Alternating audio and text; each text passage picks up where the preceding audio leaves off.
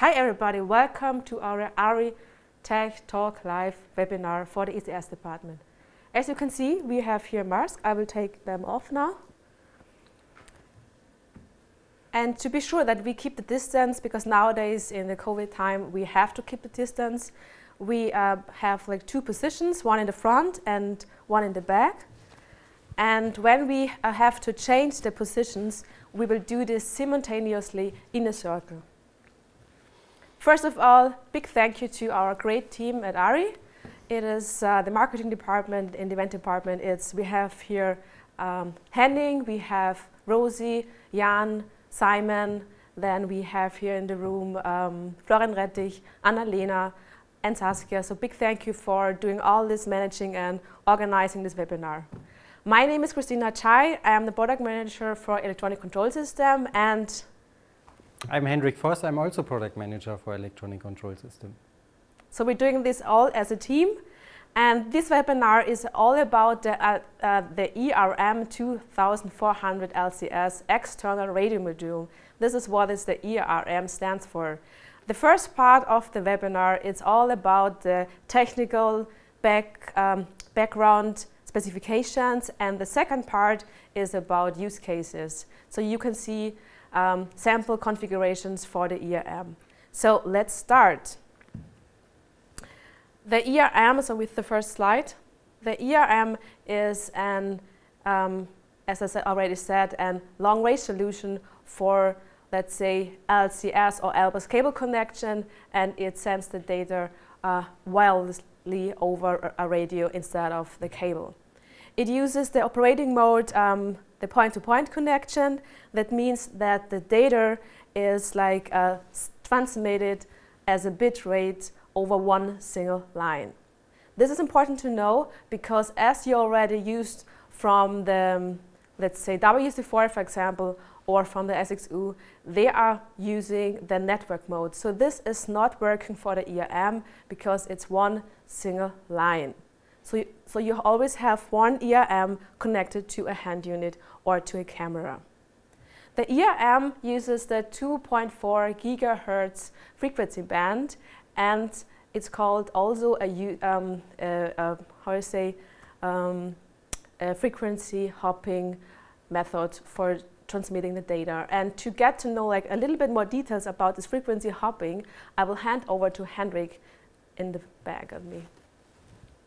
Yeah, um, maybe just just put it on the slide. Um, so we have basically two different uh, possibilities to transmit or to yeah to transmit uh, radio um, information over radio signals, and um, the goal of those methods is really to spread the spectrum so it's less prone to interference.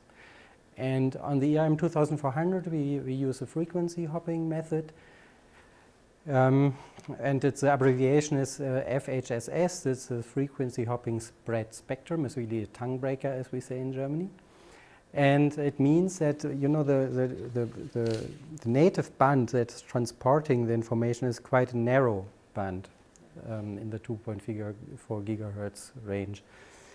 And this narrow band is then jumping uh, in, a, in, a, timely manner uh, throughout the available band. And um, if there's interference, it will only be hitting the, the, the frequency shortly and then it jumps to the next uh, frequency. So by doing this um, and, and using the whole bandwidth of the available band, uh, it's less prone to interference.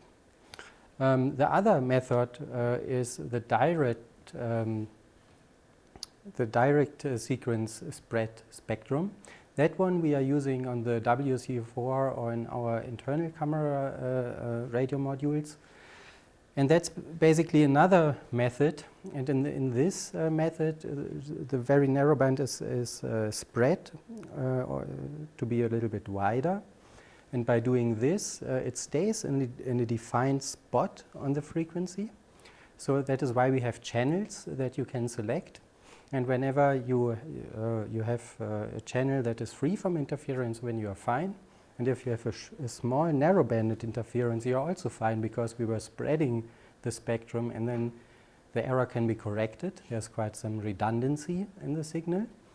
But if the interference is uh, using a little bit wider part of the band and covering more or less the whole area that we are using for our signal, then you get interference. So both systems have some advantage and some, some disadvantage, but now with the ERM 2400 we are using the, the frequency hopping scheme. Now with this information I give back to Christina. Thanks Hendrik. So the ERM 2400 LCS can be connected to hands unit, for example, SXU WC4. I can show you a slide in your slide. So you, uh, you can see here WC4, the SXU, and it also can be, uh, be connected to Cmotion's hand unit, the CPRO hand unit. There are also units with, which don't have an internal radio module installed, and this, is, for example, the OCU1 or the Master Grip. Uh, both of them can be used, uh, for example, if you don't have an SXU on the set, but a, a WC4, and you need a second wireless hand unit, then you can use the OCU1, for example, with the ERM as a hand unit. Uh, we will show this later on in one of our setups. Um, the uh, radio modules, they are uh, usually come with like um, a set with two radio modules and including a power cable and different wireless cables for, let's say, um, LCS connection, for LBUS connection, and for the EXT connection. That means we have cables which, uh, uh, which are going from the ERM FSCAN to the different um, connectors. So over here you can see three of them. Uh, on the right side, uh, for example, there is the LBUS to FSCAN connection. And um, it's interesting because uh, all of them from the FSCAN, they are, uh, they are female connectors and the, uh, the LBUS version is also female. This is really uh, helpful because we have a, a wide range for LBUS cables and they're all male and you can use them with different kind of lengths to, uh, to, use, uh, to go with, with, with our devices. Some of, of you may will ask what is the FS stands for in the name FSCAN. Actually, FS stands for FOMA system, and this is a good thing to point out because the ERM is uh, developed by FOMA, uh, especially for ARRI, and it's also exclusively um, sold by ARRI. And the FS CAN, that means there's a, a, a certain CAN bus done by FOMA. So the ERM, we already had it uh, on several sets out there. It's, we have it uh, last year on the film, it's called Fast and Furious 9. The, uh, this was quite challenging because this was a set uh, in the jungle in Thailand and we had there a lot of uh, stunts and uh, a lot of car scenes. Of course, it's part of the Fast and Furious.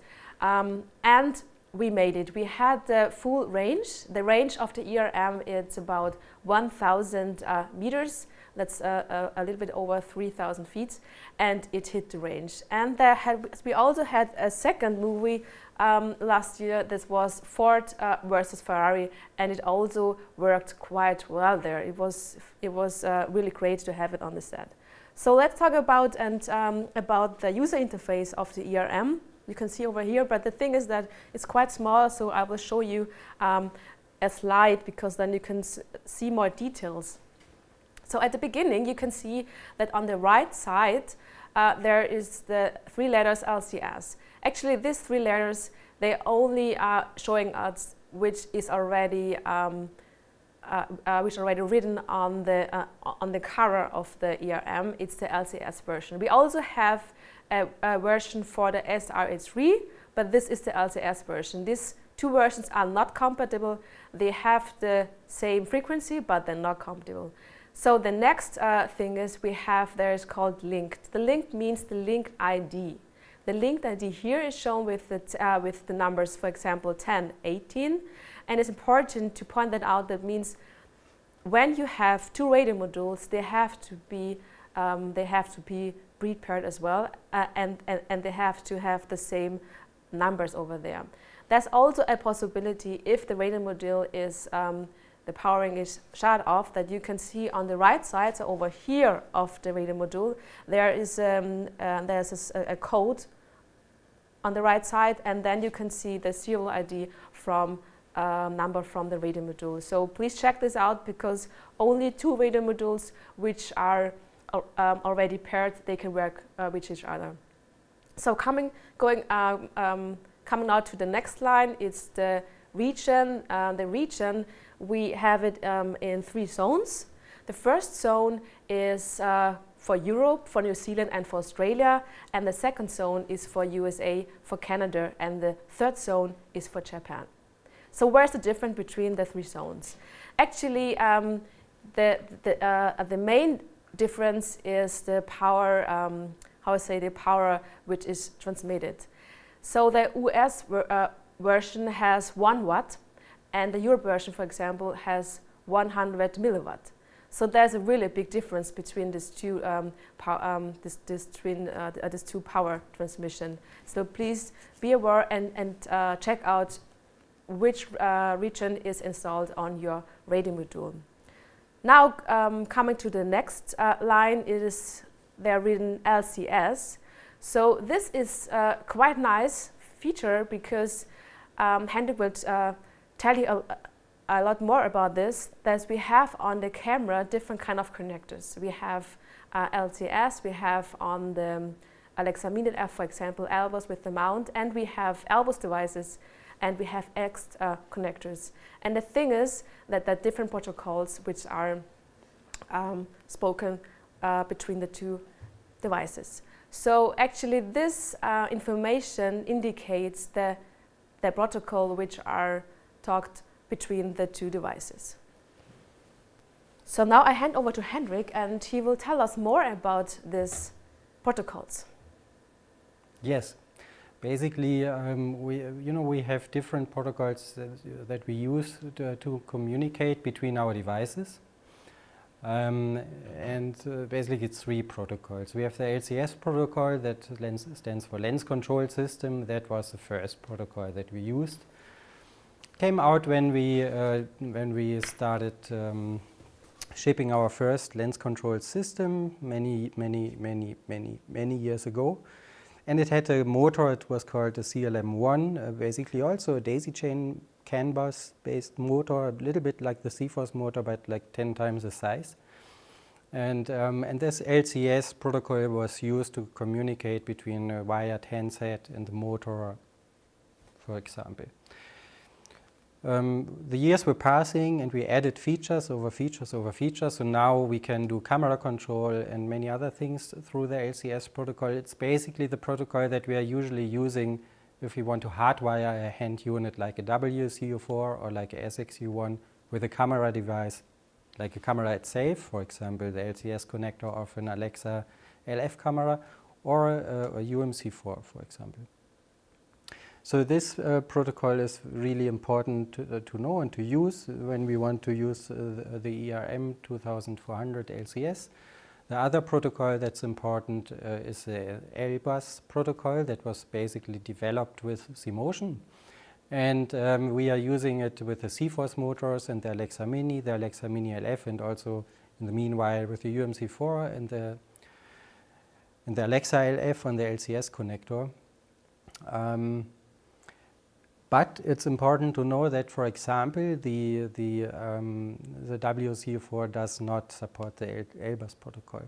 Now you might wonder why do, does it tell us that uh, the WCU4 is not supporting LBus? Of course, because it has a LCS connector. But that's a tricky bit in, in the whole thing. We have some connectors that support multiple protocols. That is because we were adding features over the time or we didn't have enough connectors on the space on the whole camera, enough real estate on the camera, so we're combining things on one connector. And um, if you want to connect a ERM on a camera with ERM on a handset, as Christine already mentioned, it's basically like a cable connection. So you feed in information from the cable into the ERM, then it's packing this information, transmitting it over the air, to the other ERM. This other ERM is receiving this, unpacking it, and putting it back to the cable. So of course, if, if this happens, the two sockets, the two connectors, or the two devices have to understand this same protocol. If I have a device that transmits LBus, but the counterpart device doesn't understand LBus, but LCS, it doesn't work. So this is important to understand. Um, with the classical Alexa cameras, we have, for example, the LCS connectors. Um, and, it's, and of course, the LCS protocol goes over it. Then on the Alexa LF, we have additionally the LBUS protocol on the LCS connector. That is why we can drive a CForce motor from there. And on the Alexa Mini and on the Alexa Mini LF, for example, we have a LBUS socket on the mount. And through this interface, of course, we have a LBUS protocol, but we also have a LCS protocol. And on the EXT connector, of course, we have the EXT protocol, which, by the way, is the third protocol, but not really relevant for this hand unit camera combination. It does like synchronizing multiple cameras for 3D and so on. So on the EXT connector, we have the EXT protocol, but also the LCS protocol, not the LBUS protocol. So this is quite complex, as you know, and this is why Christina mentioned it's really helpful to have this indication on the ERM because we are seeing here wired LCS. We see, okay, the signal that comes from the camera into the ERM is LCS. So you can look on the two ERMs and you can see if it both speaks the same protocol, it can communicate. And since our handsets like the WCU4 and SXU1 always only do the LCS protocol, it's important that the counterpart also does the LCS protocol. Whereas devices like the OCU1 or the master grips, for example, can do both. They can talk LCS and LBUS. So master grip or OCU1, you can also connect hardwired or through a ERM with a CForce motor, and it will work. So with all this information, I think you have to digest this a little bit, and I give back to Christina. Thank you, Hendrik. So uh, we, we learned already that the LCS is coming out from the WC4 and the LCS protocol also is coming out from, from the SXU. So this is also our first uh, setup because now we are coming to our second part of the webinar. So in this setup, we have the Alexa LF and we have the SXU1. The SX1 has, as I already said, the LCS connector. And we uh, connected this with this cable to the FSCAN uh, connector from the ERM and on the side from the Alexa LF, we connected it to the LCS cable over here.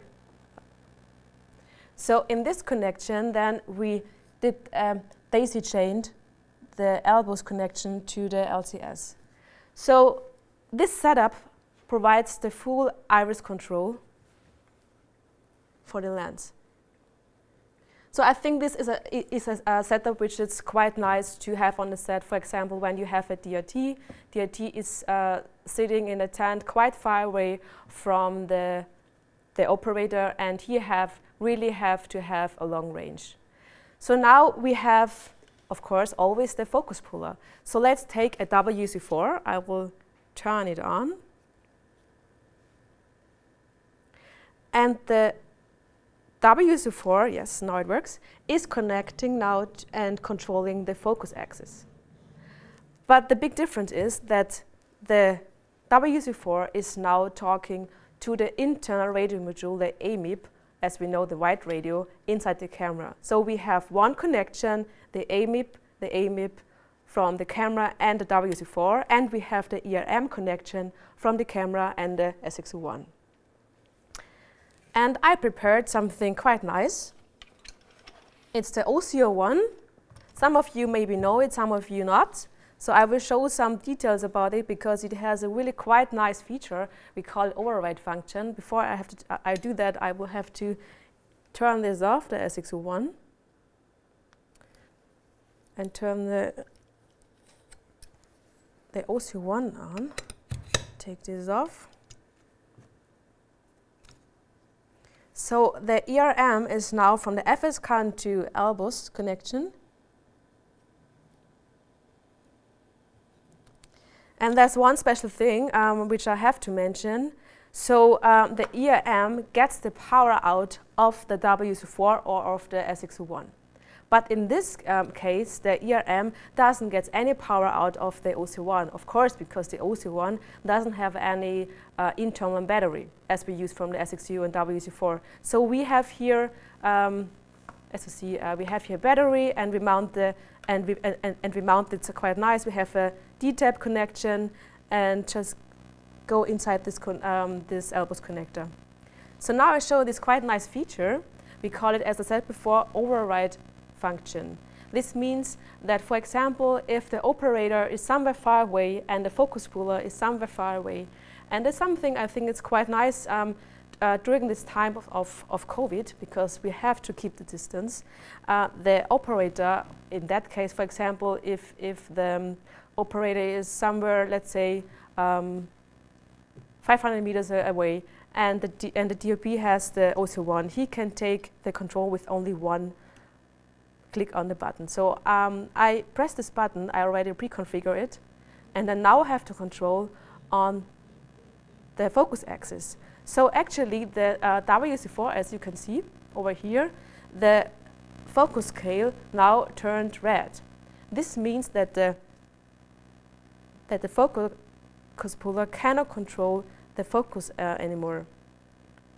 Actually, there are two ways to get the focus back. One way is that the focus puller just pressed one button over here that is called FOVR. Or the second way is that the operator also press the OVR button again and, and, and give it back. So I do this now. So now I don't have any control uh, over here anymore, but I have the control um, again here. But this is still red. Oh no, this is still green, yes. And now I have the control. So this is quite helpful for this kind of situation where you have to keep the distance. Um, now I hand over to Hendrik because we already um, have seen there are these setups, we can see that you have the, the camera control with the WC4 with the ERM. You have the lens control uh, with WC4, with the OC1, with the SXU, with the ERM. Uh, so you have the full functions which are uh, important. Thank you, Christine. Very interesting setup, uh, by the way, also because you can not only override the focus, but also the iris if you like to. Um, here in this uh, case, um, I just wanted, or we just wanted to show you another use case with the Alexa Mini LF, which basically the same way also works for the Alexa Mini. So in this case, I've connected the ERM 2400 LCS to the XT connector on the one hand, on the other, on the camera side.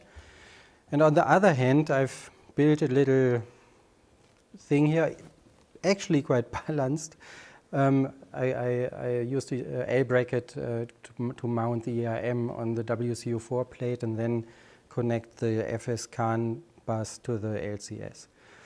Now if I look at the screens here again, I see the protocol that is used is the LCS protocol. That is because the LCS protocol is also on the EXT connector.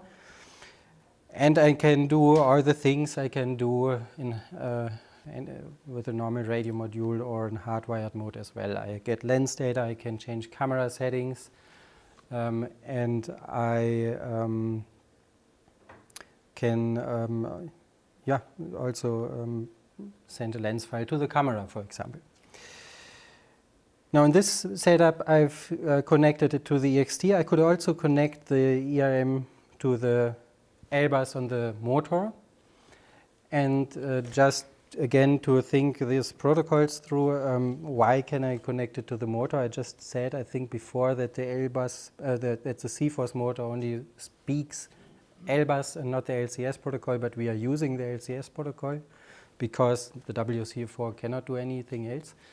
Um, that is because the, the protocol is looped through the motors to the camera and the camera then does the control and uh, so then even the LCS protocol works. So with this information, I give back to my colleague Christine. Thank you, Hendrik. We are now having a third setup. We have here the ARRICAM um, LT over here, and we have mounted here the, our CFORCE Mini RF motor. And this is a quite nice setup, and Hendrik will do that. But I forgot something um, before. We have the OC1 here again with the nice setup. And the OC1 is already like used uh, for some really nice uh, productions. For example, the production Dune. Uh, Greig Fraser has it over there, and I think it's nice to mention because this was quite challenging and she will like it. And I think there's something we should mention because it's such a small tool. People can use it in uh, various ways. And we had it on really different production. For example, also the Netflix production, Gentefied, and some others in Germany. Uh, last week he was on, on a production in Berlin, so it's quite nice during this COVID time. So now I hand over to Hendrik. So we do this uh, rotating um, procedure. We, we keep the distance. We keep the distance. Which we always do anyway. And here I am. Yeah, we have a film camera here. We did this setup just to show you that it's not only working with digital ARRI cameras, it's also working with analog cameras, and, uh, and you could replace the analog camera also with a camera of another manufacturer, for example, with a RED camera or with a Sony camera.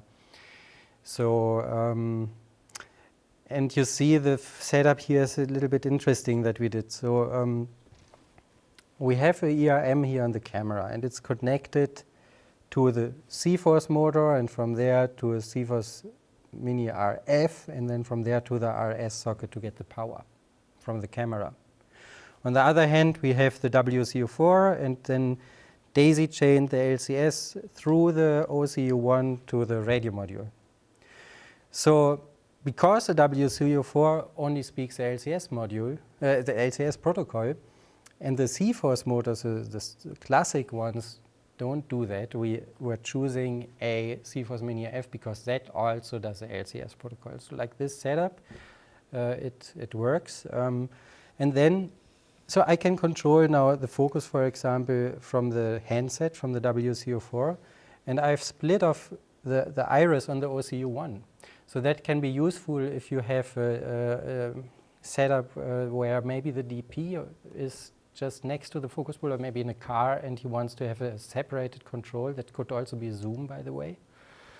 He can do that, or she can do that with the OCU1. So we just wanted to show you this. I think there are many ways to configure this. It's probably not the most sexy, but uh, maybe the most interesting what I did here. Um, and that's basically it. So um, I hope you have some questions. We're happy to get questions. Uh, we, we hope that we have the answers for your questions. And um, please ask. Your question will be, we have a mouth here saying your question to us. Yeah, thanks, Hendrik. Thanks, Christine, for dancing in the circle. So, yes, there are a couple of questions we have for you. So, one is why use a new connector if exist LBUS and LCS? Oh, that's a good question. it's basically, you know, the ERM uh, was developed by FOMA and not the LCS version, but uh, the version for the SRH3. That was because there was really a requirement to have a really reliable radio connection on the stabilized remote head of ARRI's stabilized remote head. That is also developed by FOMA. So they did that box and they have their FOMA CAN bus system. And this is, by the way, just a connector. They had their connector on their systems. So we are using this, and we had to uh, then provide an adapter, and that is basically the cable. But the protocol is not, in this case, the FSCAN protocol, but that's the protocol that we are that we are feeding into the system. And in this case, it's the LCS protocol. It's a good question, um, but that's the reason. Okay, here's an easy one which came in by email. So, what is the size and what is the weight of the device? Okay, there I have to to cheat. I tried ah. to learn it off it and I forgot it. So, uh, but uh, of course we are prepared for this question. The the weight is 380 grams and 11 by 9 by 4 centimeters. So as you see, it's it's a rugged device. Really, it, it's a little bit like a brick um, we have seen it on sets on, on, car rigs, and you can really, really, really rig it hard on a, on a car. It has several uh, interfaces, like for example, 3 8 inch uh, interfaces, and um, it's it's really solid. The connectors are also solid. Um, yeah, of course, with the with the dimensions, you also have to to to add the connector size, which is three centimeters, maybe four. All right. So another short one. What is the latency in transmission? Oh, The latency in transmission, i am afraid that one I can now not here really answer. It's, it's quite fast. We didn't have complaints about, uh, about too much latency. Uh, I can try to measure that out somehow. I, I don't have the answer right now. Yeah. Okay. Another one. Uh, why does the 900 megahertz version have a longer range than the 2.4 gigahertz version? Where the 900 megahertz is, is uh, um, is actually a longer wavelength with which which is not um, disturbed by objects so much like a shorter wavelength. Um, and, and that is why it has a really long range. The 900 megahertz version, we don't have a 900 megahertz version for the LCS version. We just have the 2.4 gigahertz version, but we have a 900 megahertz version for the SRH3. There are two different um, module types. And indeed, it has a it, it, has a longer range, but it also um, has a, a sh more shallow bandwidth. And um, we we've tested a lot of things, and we found that uh, the 2.4 gigahertz version is pretty, pretty, pretty good, and covers more areas than the 900 version, just for one so that you can use the 900 megahertz just in USA and Canada, and this uh, 2.4, when you switch to the right zone setting, you can use it in other regions as well, like Europe and Australia, New Zealand and Japan. Um, and I initially it explained the frequency hopping thing, and maybe you remember that we had those spikes of, of the of the inform uh, of the band that is just used at a certain point in time, quite narrow spikes, which are then uh, like hopping through the spectrum. And if there's no other frequency used in this spectral range, then those spikes can hop around and don't get disturbed. And, and you don't have interference. But if you have several systems in this range, in this spectrum, spectral range, and, and more systems are hopping around, the, it, the occurrence is higher that they will hop onto each other and interfere with each other. And this spectral range is more shallow with the 900 megahertz version than with the 2.4 gigahertz version. So with the 2.4 gigahertz version, we feel it's a little bit more safe to use multiple systems in parallel, even though we recommend, if not necessary, to or we recommend, of course, to, to keep the radio the radio use as low as possible in order to to get keep the frequency band as free as possible. Um, but yeah, I hope that answers a little bit the question. Is a 900 megahertz is a different is, is a certification thing that that is cannot be used in different regions like 2.4, and also the usual bandwidth is a little bit more narrow. But as you said correctly, it has a longer range, and for really critical applications where you don't have a lot of parallel systems and where you are in the right region to use this, it's certainly a good system. But we don't have it for the LCS protocol, only for the SRH3. All right. So there's a question about uh, the number of units which can be connected at one time. So I think you maybe refer to the network mode. As Christine mentioned in the beginning, this system is a point-to-point -point system. So you can always connect one camera device with one hand unit device, one by one, like a cable, basically. That's more or less, it's replacing a cable. In, uh, and but with our with our previous radio module, like the EMIP 400 and 300 that we have in our white radio system, there we offer a, a, network mode. And this network mode that we have a camera master device, and then we have client radio modules that synchronize to the master and that can then uh, speak to it and multiple clients can speak to one master. So up to three clients can speak to one master. That is with the white radio. With the, with the ERM, we just have to point-to-point -point solution. Another question was, will it work with the UMC3 controller? Yes, because the UMC3 controller also has a LCS connection, and since it can speak LCS protocol, and this protocol is valid. As I mentioned before, it just takes the protocol out of the cable, wraps it in a, in a wrapper, then transmits it over the air, dewraps it, and puts it back into the cable. It works, yeah. How easy is it to switch the zones? Uh, the zone switching is not really a magic, but you cannot do it as a customer. You have to send your device to the ARRI service. Or, of course, in the different regions where we sell these devices, those zones are pre-configured. But if you need to change this, you have to do it at the ARRI service.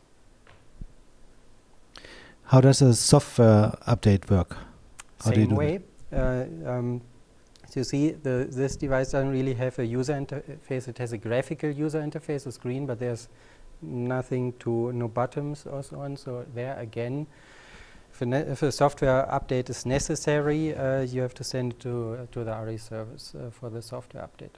But since it's um, only like transmitting uh, uh, incoming signal and then um, getting it out, it's, uh, we, we will not have so many software updates like on other devices. Here comes a product idea from South America. Are you planning a release for a more small unit like C-Motion C-Pro camin uh, that work like Extender 2? Like this? It's uh, thank you first of all. Thank you for the feedback. We always want this. Um, this is basically the chip that is in there is quite big, and it also generates quite heat. So uh, there are some reasons why it's big like this. We if we could, we would have looked at integrating this in the WCU4, but it's too big. So at the moment, we have no other way. But of course, we hear your wish and we look at what we can do. But at the moment, this is what we have and what we can do. Somebody is asking an unknown, an anonymous person. I don't own an RF motor. Would, as, would I connect my UMC4 instead on a film or non-ARRI camera to use the system? Yeah, you can, absolutely. You can, because you can connect this to the LCS connector of the UMC4, then connect your CLM motors, for example, or even a C uh, or even a CForce motor, um, because the UMC4 would then translate would the, co the the connection between the UMC4 and our handsets is LCS, so this works. And then you can either connect a CForce motor to the LCS of the UMC4 or you connect a CLM motor, both works. Do we have plans for 90 degree connectors?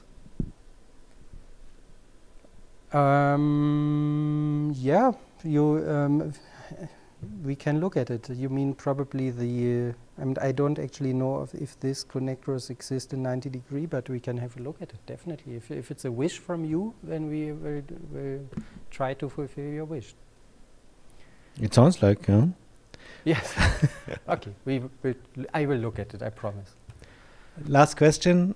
Can I switch from 100 milliwatt to 1 watt? You yourself cannot, the ARRI service can, but, on, but then please only use it in the region that you are allowed to use it because the 100, uh, the 1 watt version is uh, FCC compliant working in the US. If you use it anywhere else, it's not legal. This was the last one. Thank you so much for answering that and for presenting. Yeah, thank you to Christine as well. And thank you to all uh, to all uh, our friends and and guests here um, in the in the Tech uh, Talk live. We appreciate that you took your time and and spent this time with us. Um, it's not a it's not an easy time. It's a difficult time. We all have over the whole world the challenge of the coronavirus. It's hard for, for our business, I hope, and we all hope here that, uh, that we will get over it soon and that we can somehow find a way to continue the productions. And, um, and this is really a global thing. It hits all, all as humans being the same way. We are all vulnerable to it. So we are all the same anywhere in the world, no matter where we are from or what we do. So um, I hope that, that uh, the situation gets normal again, and I wish you all the best, and thank you very much for your time. Bye-bye.